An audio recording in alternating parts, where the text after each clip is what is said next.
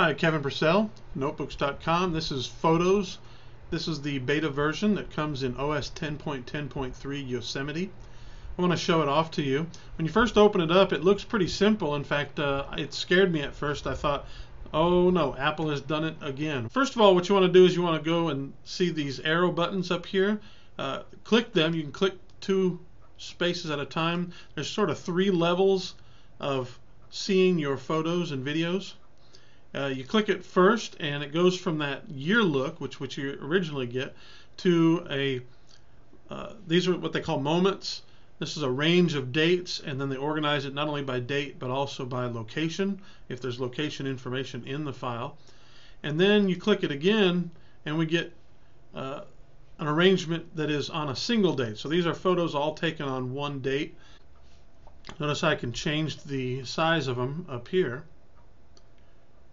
And if I want, going to the other end of the toolbar, there's a search function. So let's uh, search for trees. If I open that up, I can see it. If I really like it, I can make it a favorite. I can get the information about it on this toolbar. Or I can use the plus button to add it to an album, create a, uh, add it to a photo book, a calendar project, uh, a card. We'll talk more about these in a moment. But in this info button, notice that it, you can add a title. It gives you the file name, the date that it was, and time it was taken. It gives you what camera you used to take it, uh, as well as uh, the resolution, file size, and file format. And then you get a map, which is nice. You can zoom out and find out exactly where you took that. We'll exit out of that. The tabs across the top here, this is the photos section, which is what we were looking at. And then we have shared photos. These are all photos I shared in a fam uh, photo family album. These are albums that have been created. Use that arrow, you can see larger or smaller icons of it. This first album shows you all your photos. These are albums that you've created or that were created for you, or you can make your own. Using this plus button, you can create a new album, give it uh, a title, or you know what you can add them to these albums or you can uh, make a new one with a title there. We're not going to do that yet. Projects. Apple does a great job of printing projects. If you want to create a new project uh, you can create books calendars cards or prints. These are some of the projects. Or you can create new albums or smart albums and then a slideshow and then um, uh, print those up. For example if we created a new book let's say I wanted a 13 by 9 book use the travelogue theme. It's going to create it for me and open the cover select some of these options and then I can add photos to it. Um, let's find a photo real quick that might fit this. Alright so let's uh, We've got the photo here. Let's add it. And you can add more. Or you, you notice that it brings up the filters so you can change the way that initial photo would look. If you want to buy the book or if you want to set up details about it, change some of the layout information, that kind of thing, add a page. But we're going to get back out of here delete the project because I don't want to use that right now. Importing is simple. Uh, I've got a video, uh, an SD card in this computer, and I can import any of these. Select some of them, import just the selected. You can delete it after, or you can import all of them. It behaves just like it does in iPhoto and in Aperture.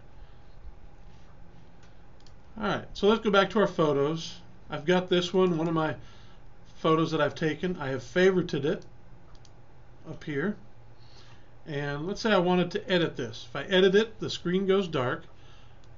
By default, you'll see this. These are all the photos in this uh, album. So if you wanted, you could edit a different photo. But uh, we'll stick with, let's see, where's our photo at?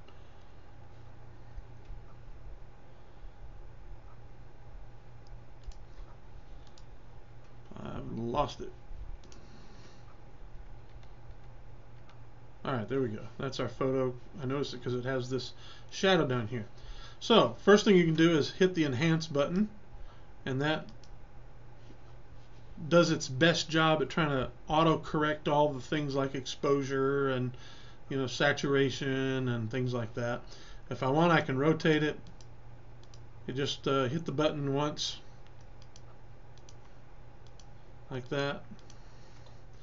Uh, what I want to do is crop it. Notice that I've got this shadow down here and I've got these uh, vignette shadows in the corner because based on the lens that I was using. There's a lens review for the iPhone. So I'm going to take out those shadows. I'm in the freeform. Down here there's the aspect ratio and you can change it. It defaults to freeform, but you can make it the original square 16 by 9 typical photographic uh, formats. I can flip it if I'd like, which I won't. You can auto crop it. That's kind of an interesting thing. Let's uh, revert back to the original and hit this auto crop and see what it does for us. Now in this photo it didn't do a whole lot. Notice here it gives you some rotation. I can rotate it up to 45 degrees. Again, I don't like that. You can always go back to the way it was by hitting that revert. But let's again, we'll go back, we'll get rid of these vignettes in the corner and the shadow, my shadow in the bottom, and we are ready. That's the way I like it. Now, again, you may want to hit that. It doesn't want to uh, stop. You may want to hit that enhance button again it doesn't do anything new. Now the filters, it's got some ugly filters. I don't care for them. Maybe if you wanted to, I don't know, change it to black and white or mono or something like that, but we won't do that. Oh, edit, undo, revert to original. Let's go back and just make it like it, it was before. And then here's where you get the most advanced features, the adjustments tool. Now it opens with the light adjustment and the color adjustment. Notice if I hit that, it gives the uh, reset. That's after I've made adjustments. I can reset it or I can remove that adjustment. Or let's say we want to remove it. I don't normally use the black and white, so I'm going to get rid of that one. And I'm going to add a histogram at the top, the sharpen tool, definition, and white balance, and then vignette because I like that. At the end, we're going to go with levels. Now, notice I have to scroll through these to see these. It always shows you the histogram there. You can get rid of that if you don't like it. And the way you make these edits, first you can hit the auto, which is what has already happened with this enhance. Now, notice it's got the vignette. It's really got too much vignette in here. And so I like a little, but I don't like it real strong. This changes the radius of it, makes it bigger or smaller, and how soft it is, but we're going to leave it like that. Now, just basic photo editing 101. A lot of people like to edit with the levels, and they change these levels using these um, tabs here. You know, you can drag them and such in order to do that. I don't do that. You can. Notice you can shoot, change different kinds. But what I always do, I crop and then I correct white balance, grab this. Notice it's saying pick something that's neutral gray. Alright, that white balanced it, but it really didn't do a very good job of it because I didn't really pick the best thing. So let's correct it to what will look good, I think. And I think that that looks pretty good. It's a little maybe a little warm. I don't know, but I think it, I think it looks good. Now you want to correct color, uh, or or light rather, and so you correct the things like exposure, highlights, shadows. For example, some of the shadows here, the darkest parts of the image, could really use some more exposure. Set it up a little bit, get it brighter, and then uh, if your highlights are a little overexposed, you can move them down. See how that gets rid of them? You don't want to get rid of that much. That makes it look a little bit better. And then color, you may want some saturation. I think auto gave it just enough. I'm not going to go any more there. And then finally, you want to sharpen it. And it's sharpened it pretty good. You can find the edges and then the fall off. Now if you click in here, notice how I'm clicking and dragging. Now this last one is something that you would use to uh, get rid of things you don't like. And notice this changes the size of it. For example, look at this little tree sticking up. Let's say I wanted to get rid of that. Alright, and it kind of fills it in with stuff around it to make it look a little better.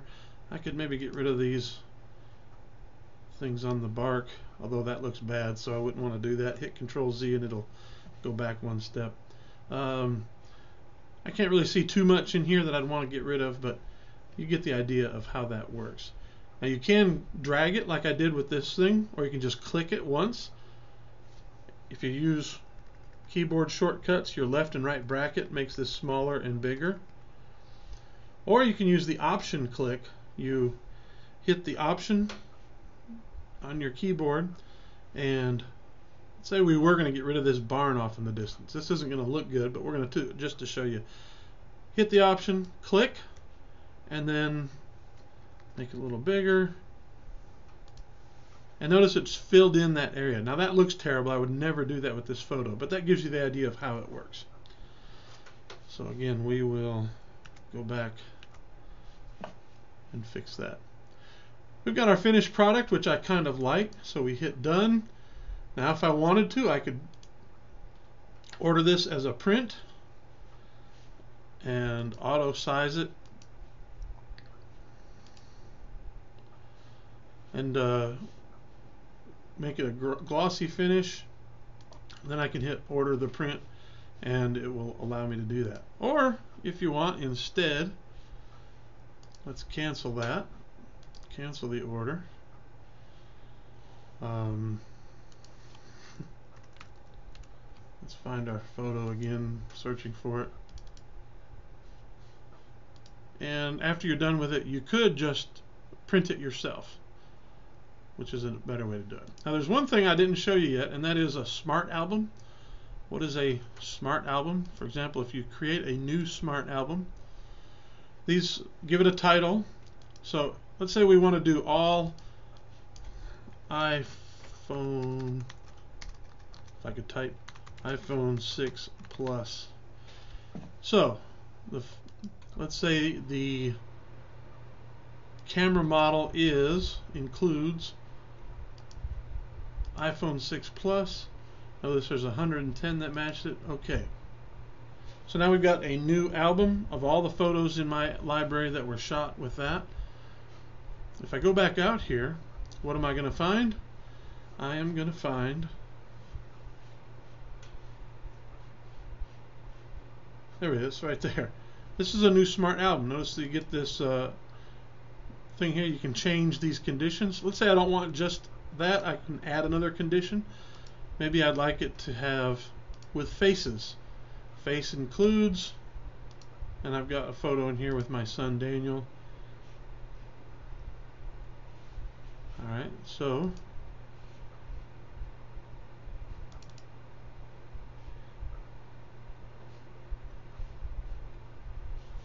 that's another condition. And if we wanted, or you can get rid of a condition. So those are smart albums. I really like that feature.